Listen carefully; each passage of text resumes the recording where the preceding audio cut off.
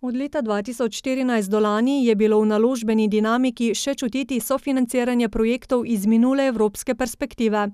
Investirali smo praktično skorajda štiriinpetdeset milijonov evrov, od tega je bilo devetnajst milijonov evrov evropskega denarja.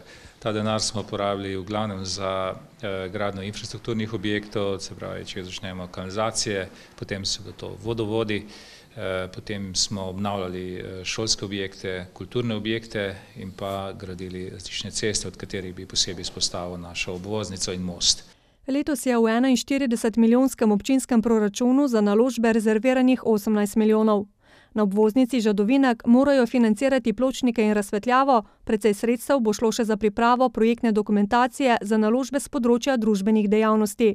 V novem mandatu jih čaka gradnja knjižnice, dokončanje oziroma celotna gradnja, fizični del, potem pa gradnja Osnovne šole Doktor Mihailo Rostohar, seveda je pa nikoli dokončana problematika naših cest prvega in drugega reda, ki so v precej slabem stanju, imamo jih zelo veliko, tako da to so osrednje naloge.